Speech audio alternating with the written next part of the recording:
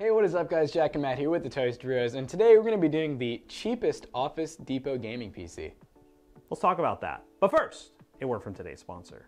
This video is brought to you by GVG Mall, an online marketplace to gain access to some really awesome discounted game keys and more specifically Windows 10 licenses. So if you guys use the link in the description down below, type in code TB20, you'll get 20% off your Windows 10 Pro activation key, and then you just take the key that they give you, you type into the Windows 10 activation, and that's it, you have Windows 10 activated. We use GVG Mall to buy the Windows 10 keys for a lot of computers. Like all of these computers, we use GVG Mall, and it's a very helpful resource that you can use today by using the link in the description down below and also using code TB20 at checkout to save 20%. So let's continue this video. So this right here is a PC we bought from Office Depot. If you don't know what Office Depot is, check the link down below, you can check it out. It is basically like a Staples, uh, more like an office supply store that also happens to sell computers. And we went through the process of going in store and picking out another pre-built system, which if you've seen our recent pre-built system video from Best Buy, which is actually a full setup, this might look very familiar to you. And if you don't have an Office Depot in your area, you might have an Office Max, which happens to be the same thing. So yeah, this PC here is a Lenovo. It's a slim tower PC, and it comes in many forms and shapes, but the outside of it looks very much the same as all of the others. So come listen to it. I, I swear it's the power supply. Why is eco mode on again? It keeps turning on. So the last video we did had an i3-8100 in it. You can even get it with an A9 still if you're into that. But this one here has a Ryzen 3 in it. And now it's a second gen Ryzen. It's the 2200G, which is still a pretty good processor. So what we're gonna do in this video is we're going to test it with the integrated 2200G graphics, which have been shown to work pretty well. But then we're going to upgrade it with this is a 1050 Ti. Now, this is a graphics card that does not require external power, which is very important in a system like this because the power supplies are normally really low wattage and most definitely do not come with the 6-pin power for a graphics card, so we don't have to do any of the crazy adapting that we've done in the past. So it actually would be pretty easy for you to replicate it, so all you have to do is buy the system and go on eBay and buy a 1050 Ti, and you're good to go. Now, this is kind of a continuation of our series of testing these pre-built systems that are designed for office work, but but can be used as a build a PC in one day solution where you go to like a store like Office Max, like we did Best Buy and Walmart, and build a PC that could play video games and also could double as an office PC. So if your parents are looking for a new home computer, maybe you convince them to go this route and actually allow it to play a little bit of video games. Dick's Sporting Goods. Dick's Sporting Goods. One of the big advantages with doing this is you do have a warranty with this computer. So you have a warranty, you can buy an extended warranty. Matt used to go to Best Buy all the time and well, he just, he conned the system. You know, he would get a pair of Turtle Beaches, they'd break or something, or he'd want an upgrade, just take it back, get some in-store credit, and upgrade this computer to one of those like HP Omens or something like that later on down the road. But Long story short, this comes with Windows 10 pre-installed, so you don't have to do any of that crap. You just have to take some of the bloatware off, install this graphics card, maybe put an SSD, maybe some RAM in it if you really want to, because there is some upgrades you can do to this system, believe it or not, just nothing major. So what we're gonna go ahead and do is load this thing up with some games and benchmark it and see exactly how it performs with the integrated graphics and then switch to that 1050 Ti and see if this upgrade is actually worth doing.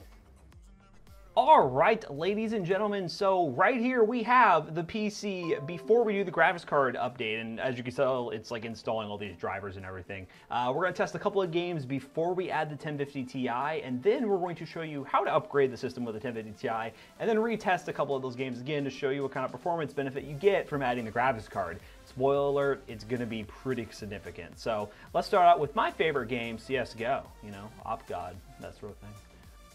Alright guys, so as I mentioned, the first game we're going to be testing is CSGO. We are running on pro settings, which if you go into the settings right here, which is basically like all of everything, with multi-core rendering turned on, uh, we're going to play a random deathmatch game and see what kind of FPS we get. Um, CSGO is a relatively easy game to run. Um, as you can tell on low settings, we're getting over 100 FPS. For an APU, actually pretty impressive. We do know that the Ryzen APUs are actually kind of decent. The 2200G is a great uh, APU for playing esports titles, so uh, you really can't go wrong with this as a starting point and then upgrading it with a graphics card. Uh, games like CSGO and uh, maybe like Rocket League, or if you play World of Warcraft, or if you play a lot of other games like that, it'll run perfectly fine. Now let's focus and get some kills. Oh, no, that was horrible.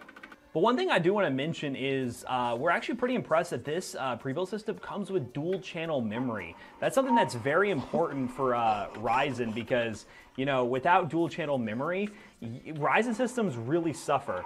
Okay, there we go. Um, so it's really good that these systems actually do come with that, even though it kind of limits the upgrade path because there's only two RAM slots. Uh, but it's still pretty cool to see that they do come with dual channel memory at 2666, which, you know, Ryzen loves fast and dual channel memory. Oh, nope, and that ain't it. All right, this is the last one. All right, come to me, I will kill you.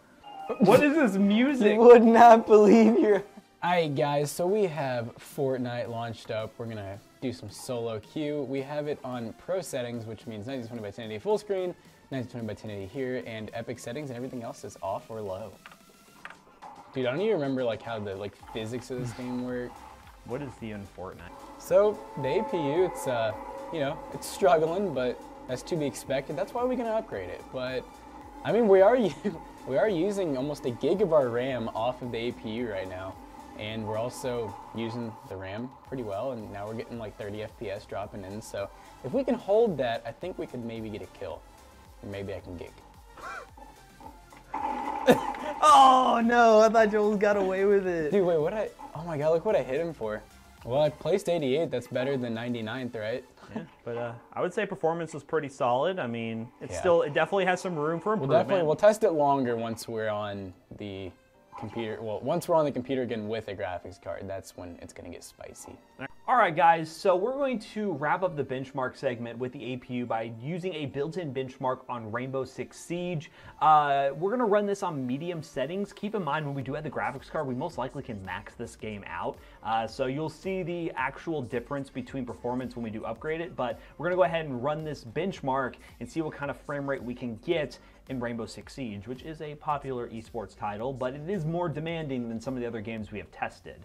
So right now coming in, we're getting around 43 to 40-ish FPS, which is honestly kind of low for this game. While it is a little more demanding, it is not that much more demanding. And it just goes to show you that there's a couple things that are probably holding this back, like VRAM or maybe just the GPU power as a whole. It just doesn't work very well for this setup. But um, I have a good feeling that 1050 Ti is going to help out.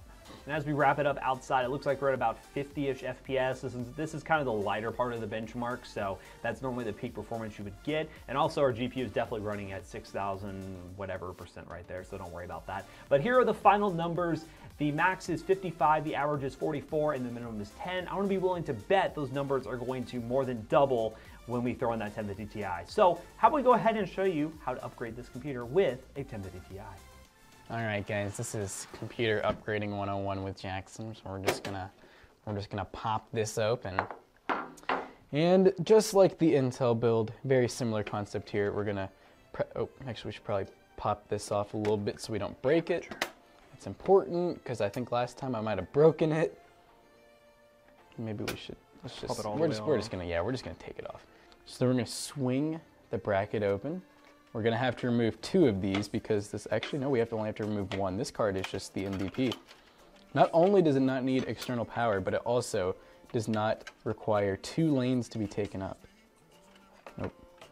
Nope. Dope. All right, and we're in. We'll go ahead and pop this back on. We will close up the secret cage of torture. And this has some little little feet on it that will grab back into the appropriate slots. And then boom, and then whoosh. Dude, did we time this? How quick was this? This was like a minute, dude. Fastest was- upgrade ever. And there you go. She's ready to go. So let's uh, get the drivers installed and uh, see how it goes.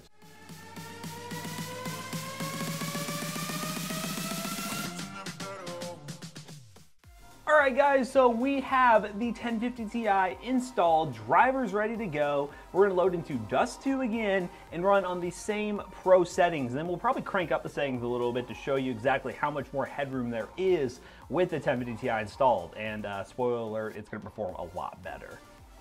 What'd you do if it was worse?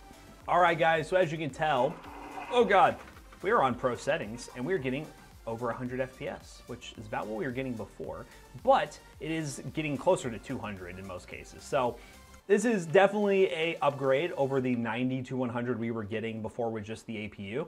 Um, and yeah, the a 1050 Ti, 4 gigs of VRAM, no external power required. So um, I can run around looking like a pro gamer, you know, playing at 144 hertz. You know, I feel like I'm at a competitive advantage compared to the rest of the people playing this game. Oh, and I just killed Bot Flynn.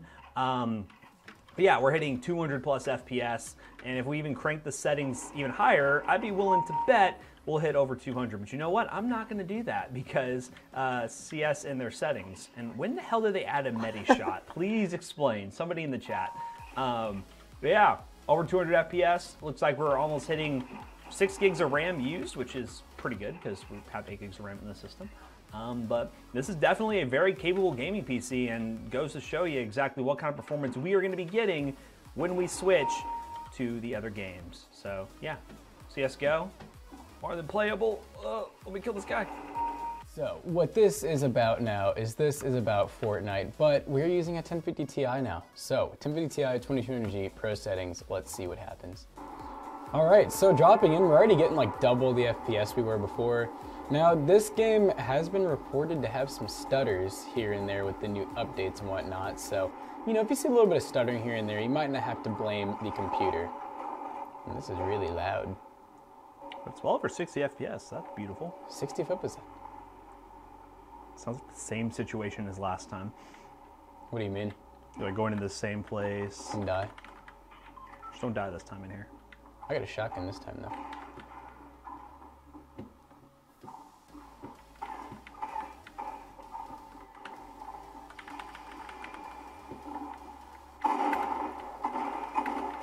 Yeah, boy! We killed some people.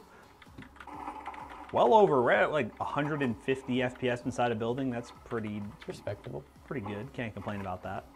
Oh. Oh, nice try, nice oh, try. what- tell me the shot didn't go off. I don't even it did go off. I don't think it hit him now. Yeah. Okay, well there you go. I got a kill this time. way more performance. Yeah. All right, guys, for the sake of showing comparison numbers to see exactly how much more performance we're actually getting, we're gonna leave the settings on medium, but just keep in mind this has a lot more room to scale up to uh, well over probably very high, high settings. So let's see what kind of performance we do get by playing this on medium settings. And as you can tell, over 100 FPS at 1080p. Uh, this game runs pretty well on a majority of hardware, um, especially with a game like this. You want to aim at the like 60 plus FPS mark, maybe in some high refresh rate if you go even lower settings. Um, as you can tell, the GPU is pinged about 98%, so that means that the graphics card is being utilized to close to its near full potential, and that CPU is running at 3.625-ish, not fully boosted up to 3.7 like it should. Um, but it's doing all right. Keep in mind this is closed up in a system that doesn't have the best airflow, but you know pre-built system problems. But outside in the uh, lighter situation, we're at around 130 FPS, which again before it was at around 50. So this is like a massive difference compared to uh, the APU graphics. And as we wrap it up real quick, we have a max FPS of 161, an average of 109, and a minimum of 43. So how about we go ahead and wrap this video up real quick? All right, guys, so you just saw some epic gaming performance. You got to see the before and after. The Ryzen 2200G with 8 gigs of dual channel at a little bit of a slower speed. And honestly, out of the box, this thing can be a gaming computer. You know, we did play every game we wanted to on it. You do have to run lower settings though to be able to actually make this thing play games, but it was a whole other story once we added that 1050 Ti.